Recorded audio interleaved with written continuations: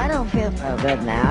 Conker's had a bad night. Well, actually, he's had a very good night. But when Conker wakes up, he has no idea where he is. Oh, can you help me?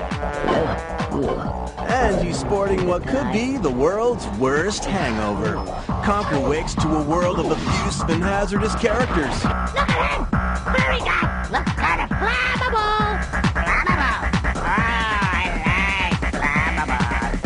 Using resourcefulness and cunning, he goes full steam ahead into a series of difficult and dangerous situations. See how a really nice guy handles a really bad day in Conker's Bad Fur Day for your N64.